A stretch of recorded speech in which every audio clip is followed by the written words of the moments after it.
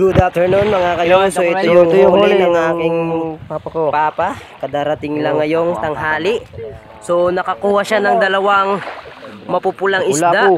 Kung tawagin dito sa amin ay lapu-lapu. So ayun binibidyohan ko siya. At dinala na nga ni Reniel yung huli ni papa. Yun. Kasi kikiluhin. Lapu-lapu. Ayun dali-dali. Hinahabol pa ni Ulaw. So parang mabigat yung huli ni Papa. Siguro mga nagkaka bigat ito ng limang kilo. Yun o. Mahal-mahal din yan ng bayad. Lapu-lapo. Yan. Pulang-pula talaga. Kung ipadaya ko ng tupid. Yan. Dili ka, ganito yan, ilam. Kulay pula. Fresh lapu-lapo. Bagong kuha lang mga kayo. So ayun, hinimas-himas. Hinimas-himas. Nagatinada lang kita Yan lamig siguro kaya wa yan ito Ano ka ito lang sa buko. Go kayo Laki kailang ng matawa. lapu-lapo. Nang yan ang sumaron. Duha ka uyugan na yawa say. Pinambola. Oh, Baka nila Haba ka na Binali ko pag ano di ba sa uy, girahan na rin ng boyo. Pinag-uusapan pa nila kung saan dadalhin yung isda.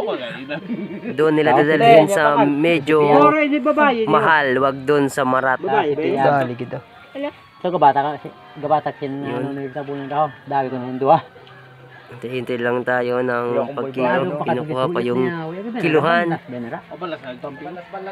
Papakala kong drabin sa pino ng agi kahaw. Itong yung punan na balsa. Benefit? Ito ano ka dyan? Pilaw ka dito? Pang-pang? At ayun na nga, kikiluhin na. Nilagay na sa streamer. Yan, tinimbang na yung isa. Yung isa ay nakaka bigat ng 3 and a half. Tapos yung isa nilagay nagiging 5 and a half. So means dalawang kilo yung maliit, yung malaki 3 and a half. Kaya 5 and a half kilos. Mabakin na law. So na nakaswerte din ang papa ko ng ganyang isda mamahalin. Pinsan lang niya makahuli. Dos. Dos. Swabe may pang ulam na sila.